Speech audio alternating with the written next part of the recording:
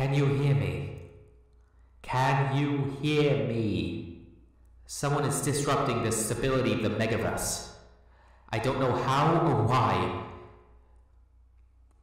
I just need to put it back to how it was. This probably won't be as correct as before, but I'll see you soon.